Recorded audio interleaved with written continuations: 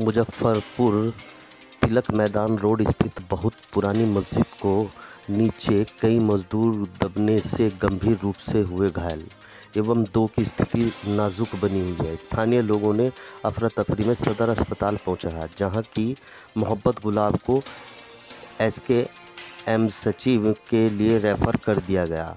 बताते चले कि इस मस्जिद के लिए पहले भी विवाद चल रहा है। मोहम्मद नसीम ने बताया कि 144 लगने के बाद भी मस्जिद में काम जारी है। ये ये कहाँ से ये ये मतलब एसडीएम के यहाँ से था।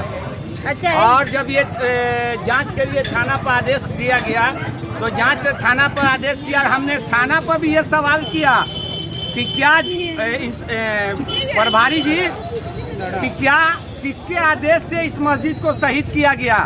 उन्होंने आज तक इसका लिखित जवाब नहीं दिया। और फिर दोबारा बोला कि सर ये किसके अब जो बनने जा रहा है इसका नक्शा कहाँ है? दोनों चीज़ नहीं है। ये आज मैं पूरे जनता को बता देना चाहता हूँ छह महीना से कि ये वक्त वोट का आदेश नहीं था। एक नंबर। और दूसरा नंबर ये वक्त वोट का आदेश नहीं था मैडम।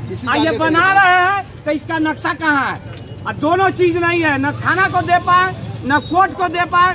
कल मेरा डेट था सीजीएम कोर्ट में इनका। तो अभी डेट पड़ा आगे का।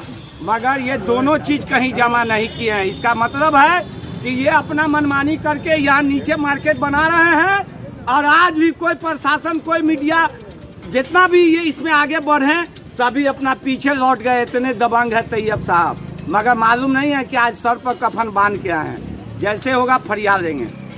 जब कोर्ट कानून नहीं देखेगा और नाजायज होगा तो मस्जिद के लिए कभी भी खड़ा हो, खड़ा होंगे।